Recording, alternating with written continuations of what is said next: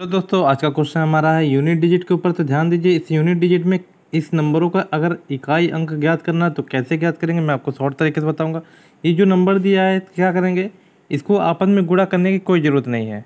अगर आप हमारे चैनल पर हैं तो चैनल को पहले सब्सक्राइब करें और डिस्क्रिप्शन में जाके बहुत सारे आप शॉर्ट ट्रिक सीख सकते हैं, क्योंकि वहाँ पर आपको मिलेंगे बहुत सारे लिंक ध्यान दीजिए, इस क्वेश्चन को मैं आपको बहुत ही ट्रिक के माध्यम से बताऊँगा तो कैसे करेंगे?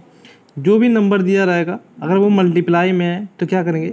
आखिरी जो नंबर है, उस नंबरों को उठा लेंगे और नंबरों को आपस में मल्टीप्लाई कर देंगे। तो ध्यान दीजिए थ्री सिक्स जा एट्टीन यानी कि अट्ठारह हो जाएगा। अट्ठारह में मुझे आखिरी अंक क्या मिला? आठ मिला। तो एट से बन जा फिफ्टी सिक्स फिफ्टी सिक्स में मैंने सिक्स लिखा सिक्स वन जा सिक्स यानी कि मुझे क्या मिला? सिक्स मिला।